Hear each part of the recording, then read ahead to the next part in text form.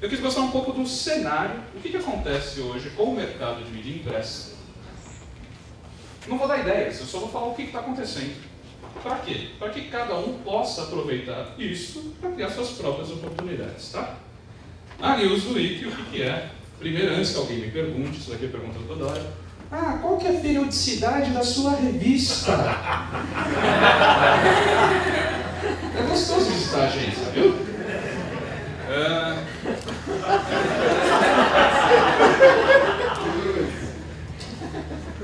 A revista Newsweek existe há 79 anos, existe em mais de 170 países. Por que a gente escreve em mais de 170 países?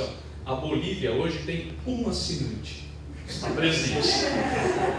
E esse número oscila, mas é uma revista ultra tradicional que está enfrentando, como quase todo mundo, o problema uh, da mudança de paradigma. A gente está num mundo novo. O que, que a Newsweek faz? Eu gero conteúdo. Esse é o meu produto. Meu produto não é revista, é conteúdo. Eu tenho leitores inteligentes, escritores inteligentes, os melhores editores do mundo. A Newsweek é a revista mais premiada do mundo. Gera um melhor conteúdo e, portanto, eu busco um leitor mais qualificado. Primeiro problema, antes de eu entrar no que a gente está falando aqui. Quando a gente começa a conversar sobre a internet, um dos problemas, como a questão do download, do, das séries que todo mundo faz, das músicas no passado, é a propriedade intelectual. É muito legal assistir uma série. Eu faço o download, mas e aí? Eu estou pagando por aquilo? Alguém teve que parar para filmar. E aí? De onde surgiu? Ou seja, eu, a Newsweek hoje, tenho jornalistas em mais de 20 países. Isso tem um custo? Lógico. A Veja vai ter 3, 4, a TV Globo em 6, 7. Mantém em 20, é barato? Não é.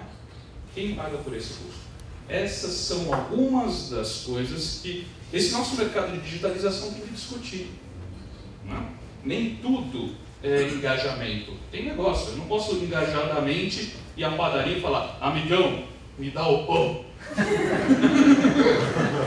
tem que dar dinheiro, cara. Então todo mundo tem que sobreviver de alguma maneira.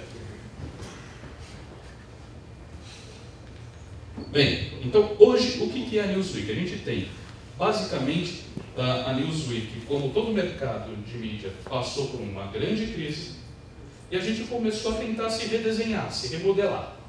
Hoje a gente tem um grande portal e, lógico, a revista se mantendo. O que, é a diferença? Uma revista semanal, ela não é mais rápida, ela era muito rápida há 15 anos atrás.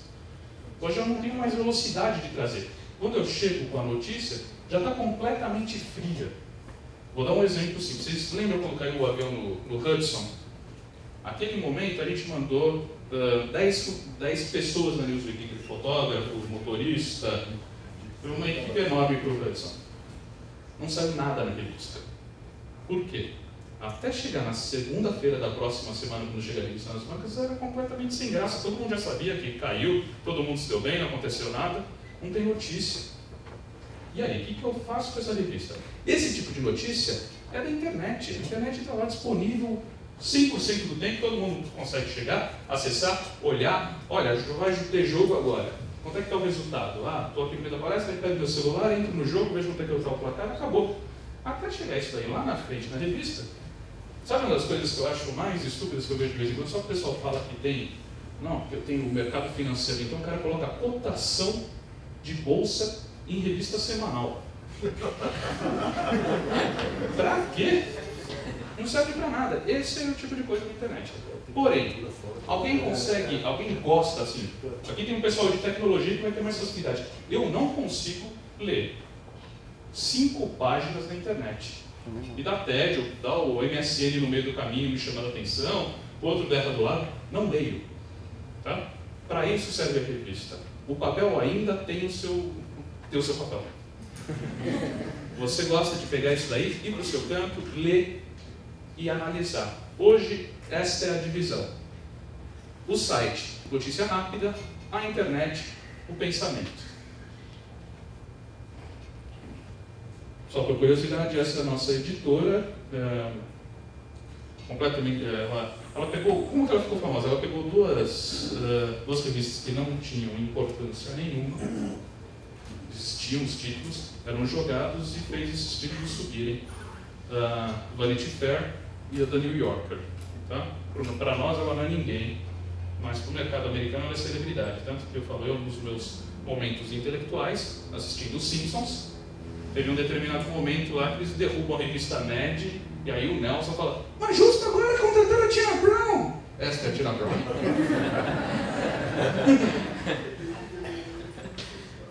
Bem, Newsweek em números, só para vocês verem, aquele negócio que a gente estava falando do. As proporções que você começa a falar de Newsweek são mundo, então os números são estúpidos também. Tá? Eu falo em semanalmente 13,2 13 milhões de leitores. Uh, os números são astronômicos. Só de circulação paga, eu imprimo quase 2 milhões e meio de revistas por semana para distribuir. Então não dá para ser um negócio pequeno. Isso continua existindo? Continua. Eu continuo imprimindo toda semana? Continuo. No Brasil, eu continuo imprimindo e aos poucos crescendo, apesar do mercado estar tá caindo. Por quê? Porque existe interesse. Se eu falo alguma coisa de interessante, da mesma maneira que o pequeno blog, se fala alguma coisa de interessante, tem gente interessada nisso, no grande veículo, se eu estou trazendo alguma coisa relevante, eu continuo gerando interesse. Então, a gente está, olha, tá? não preciso ficar lendo para vocês, mas essa é a, é a alcance. Os sites, números mensais, 10.3 milhões de unique visitors. Tá? 67 milhões de page views, são números astronômicos. Agora, aqui eu começo a falar sobre um pouco da mudança do, do mercado. Começou a ficar cada vez mais difícil para esses pobres coitados venderem a paginetinha deles lá de anúncio. Então começaram a inventar, tudo bem, o que, que eu faço? A rádio, em vez de ela fazer só o comercialzinho de 30, ela começou a fazer blitz. Então coloca lá o carrinho da rádio na frente do supermercado. Certo? Todo mundo já viu isso. A revista não consegue fazer isso. O que, que eu consigo fazer? O grande canal hoje do meio revista é fazer evento. Então, tirando alguns eventos como o TEDx, uh, uma empresa ou outra específica de eventos, quase todos os eventos corporativos são gerados por revistas. Por quê? Eu tenho um bom conteúdo, eu já tenho um canal de divulgação para chamar as pessoas para minha palestra, e o mais importante, eu tenho o conteúdo em si. Eu tenho que falar e o porquê falar. E aí, quando a pessoa vai a uma palestra, o que ela quer? Quer absorver conteúdo. Então, este é o grande diferencial hoje de todas as revistas. Então, Exame faz conteúdo, faz uh, evento, Dinheiro faz evento, Carta Capital faz evento, a Newsweek faz evento, a Time, a Economist, todo mundo faz evento. Esse é o grande filão novo das revistas. É estar em contato direto com o seu usuário. O contato ele acontece via Facebook? Acontece. É um contato importantíssimo. Mas o contato do evento é um contato pessoal, não é virtual. Tá? Então, hoje a Newsweek, só para vocês verem o que, é a gama de. A gente tem, além da revista, tem todos os, os leques de contatos pessoais. Tá? Então, o Anderson perguntou: e aí, quando a gente vai para o mobile? Já existe Newsweek Mobile, já existe aplicativo de iPad. Ó, existe tudo. Porque a gente anda mundialmente. Aqui só um número só de curiosidade, tá? Nossa circulação paga no Brasil é de 32 mil revistas em inglês. Tá? Não existe Newsweek em português. Então aqui já começa o primeiro filtro. É uma revista que não é para qualquer um ler.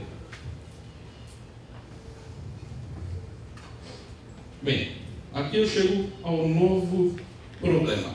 A gente atingiu um momento, a internet, a mídia impressa, todo mundo passa pela mesma coisa, que é, vou falar uma palavra que fica meio bagunçada, depois eu volto para esse slide. Concentração versus diversificação. A gente está num momento de diversificação e num momento de concentração. Poxa, mas o que eu estou fazendo? Bem, existe alguém lançando o blog e números.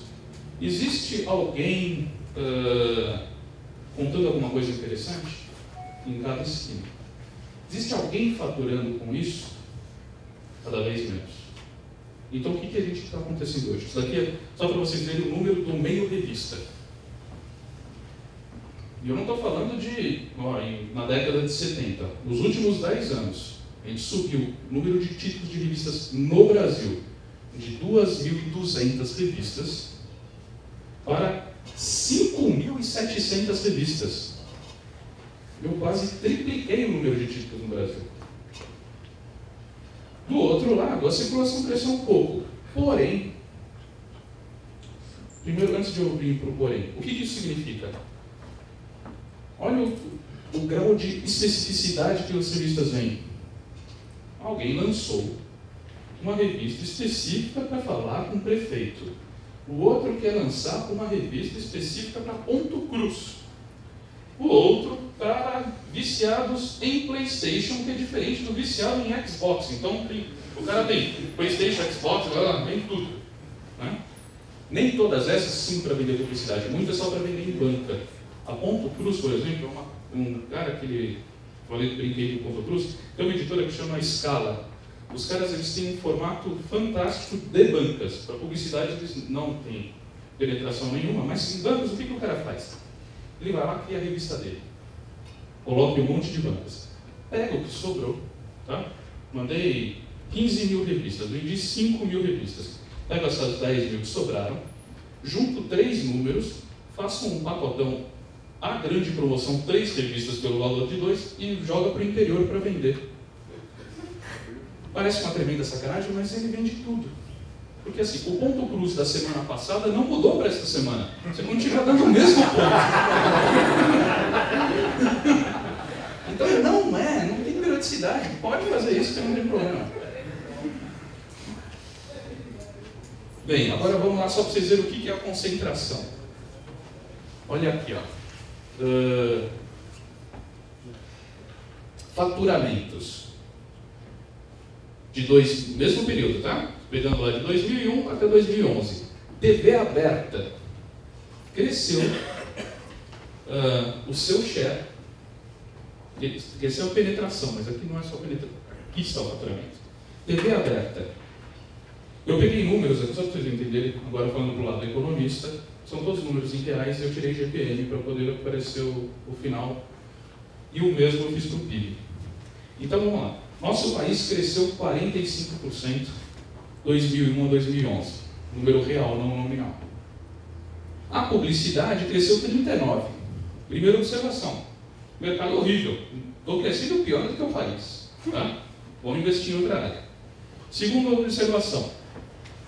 Televisão aberta cresceu 54%, portanto, mais do que o mercado publicitário.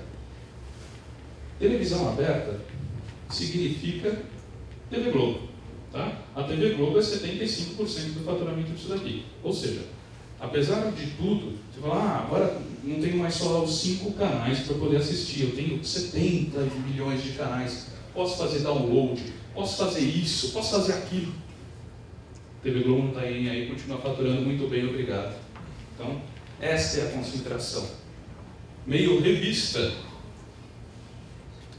Foi lindo, crescemos de 2 mil títulos para 5 mil títulos. Olha o nosso belo faturamento caindo 6%. Como? Eu tripliquei o número de títulos e caiu o faturamento? Vocês veem como a brincadeira está fácil de passar essa colinha. A internet, sim. A internet é o óbvio saiu. E no ano de 2000 não existia faturamento? Mentira. É que no ano de 2001, internet era outros. Tá? Não tinha expressividade para ser dividido e separado, por exemplo, do guia de, do guia de lista telefônica. Hoje não, vocês veem que é um faturamento significativo. Tá. Já tá, passou da metade do meio revista, do meio tradicional. Aí você fala, é faturar com internet. Já sei o que eu vou fazer. Vou criar o meu blog, vou criar o meu portal e vou fazer um custo de impressão, que o pessoal da revista tem. Só vou fazer conteúdo. Isso que o Spencer acabou de me falar que vai estar faturando. Também não é verdade. A mesma concentração que eu acabei de falar em todos os meios acontece também online. Quem fatura muito os grandes portais. Então, esses fatores horrores. Para o pequeno conseguir sobreviver, ele não tem entrada, ele não agrega. E como já foi dito nas palestras anteriores, a agência, ou seja, o dono do dinheiro, ele não está preocupado na saber se você fala com mil pessoas altamente qualificadas. Isso é ótimo para você e para essas mil pessoas. Para o cara que quer fazer o anúncio, ele não quer vender mil latinhas de Guaraná. Se a Ambev vender mil latinhas de Guaraná, ela quebra. Ela tem que vender 100 milhões de latinhas. Então, não quer qualidade, quer massa. Esta é a internet hoje. A internet está concentrada. E o Google fazendo. Para os pequenos, é um grande aglutinador. Ele é o que fatura todo o dinheiro de qualquer pequeno portal que não seja UOL, Terra, IG e Microsoft. Tá? Essa é a concentração. Esse é o momento diferente do nosso mercado. Eu tentei fazer em, em 18 segundos, em 18 minutos, uma palestra de uma hora. Tá? Então, meio rápida. Era isso que eu tinha falado.